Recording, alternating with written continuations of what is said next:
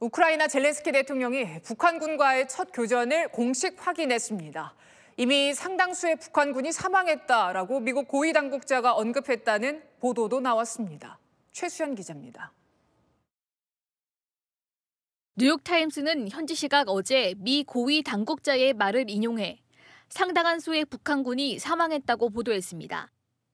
다만 교전이 언제 벌어졌는지는 확실하지 않다고 덧붙였습니다.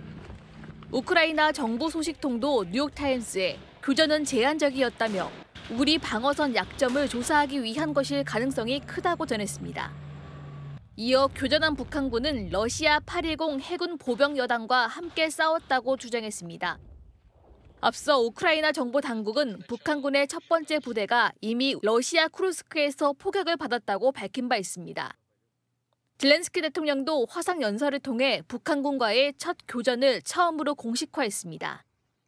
Першими боями з північно-корейськими солдатами відкривається нова сторінка нестабільності. 교전 장소나 시기, 구체적인 피해 상황 등은 언급하지 않았습니다. 이런 가운데 우크라이나의 한 언론인은 쿠르스크에서 훈련받는 북한군의 영상이라며 SNS에 공개했습니다.